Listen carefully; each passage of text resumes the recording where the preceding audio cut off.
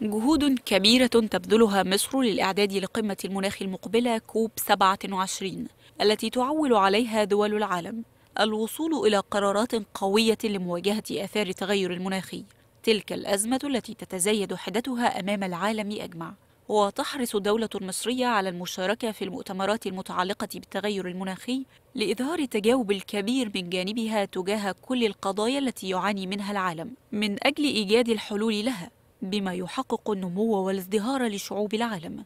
منتدى شباب العالم الذي تستضيفه مدينة شرم الشيخ خصص جزءا من جلسات المناقشة التي يتضمنها لمناقشة سبل مواجهة آثار التغير المناخي من أجل طرحها خلال القمة المقبلة للتغير المناخي. تغيير أساليب الري والاستغلال الأمثل للمياه والاعتماد على الطاقة المتجددة وهو ما ظهر جليا في العديد من المشروعات القومية المهمة التي دشنتها الدولة المصرية خلال الفترة الماضية. وتركز القمة المقبلة للتغير المناخي على مساعدة الدول النامية والإفريقية والأكثر تضررا على البدء سريعا في إجراءاتها للمواجهة والتكيف. حيث تسعى مصر لعرض المشكلات التي تواجه القارة الإفريقية في هذا الشأن حيث تأمل أن تحقق القمة تقدما في مجالات الأولويات مثل تمويل المناخ والتكيف والخسارة والأضرار لمواكبة التقدم الذي يأمل العالم أن يحققه في جهود التخفيف والوصول إلى الحياد الكربوني. وتسعى مصر إلى العمل على بناء جسور التعاون وإزالة الخلافات وإيجاد أرضية مشتركة